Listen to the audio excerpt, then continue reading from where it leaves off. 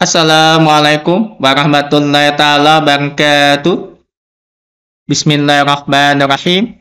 Alhamdulillah jumpa lagi dan kami Rusdia Mawang. Pada kesempatan kali ini, video kami sampaikan informasi singkat mengenai ketentuan sanggah hasil seleksi administrasi P3K teknis tahun 2023 Kementerian Agama. Untuk surat pengumuman bisa diunduh secara resmi di web Kementerian Agama Republik Indonesia. Untuk linknya, teman-teman, kami sediakan di bawah deskripsi video ini, baik untuk P3K ataupun CPNS. Di sini kami membuka surat pengumuman terkait hasil seleksi administrasi calon P3K Kementerian Agama Republik Indonesia tahun anggaran 2023. Kita masuk ke masalah poin sanggah. Untuk waktu atau jadwal sanggah dijadwalkan tanggal 19 sampai dengan 21 Oktober 2023 melalui akun SS CSN masing-masing. Ketentuannya terkait sanggah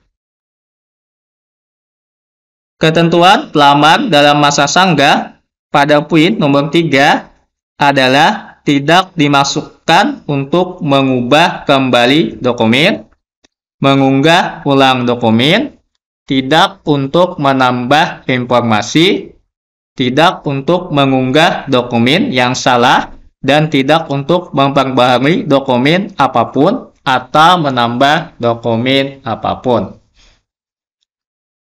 Inilah ketentuan terkait sanggah yang harus diperhatikan dengan baik.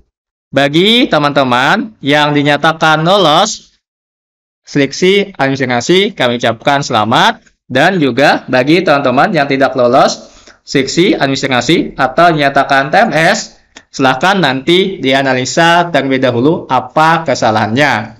Jika memungkinkan dilakukan sanggah, silahkan dicoba dilakukan sanggah dengan ketentuan seperti ini tadi.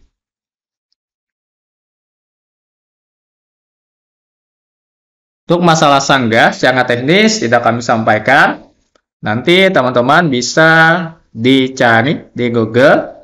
Banyak sekali informasinya terkait masalah sanggah. Baik itu berupa contoh kalimatnya tentang menjawab atau memberikan alasan kesalahan terhadap data atau dokumen yang akan kita lakukan sanggah. Oke, saya kami sampaikan pada kesempatan singkat kali ini. Mohon maaf jika ada penjelasan kami yang tidak pada tempatnya. Semoga ada saja manfaatnya. Akhir kata, bila taufik, wa Assalamualaikum warahmatullahi wabarakatuh.